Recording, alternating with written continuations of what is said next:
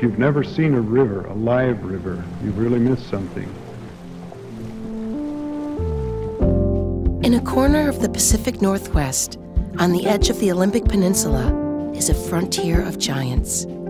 Giant mountains, giant trees, and miles and miles of rivers.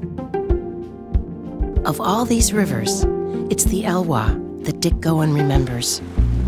The Elwha was one of the greatest, and a river came to life only when the salmon were in. They were giants in the waters in those days. I still look at it like what it was, even though that's only in my mind's eye.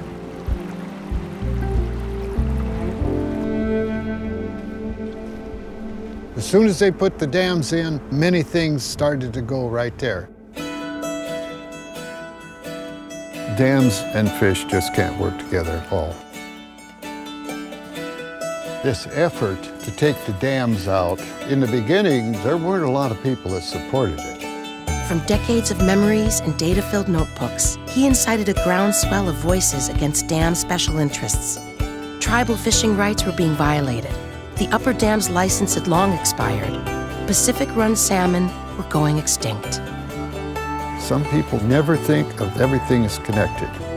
They just don't recognize it, particularly when it means a sacrifice.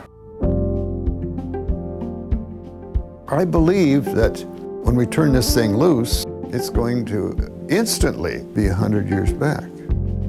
It will.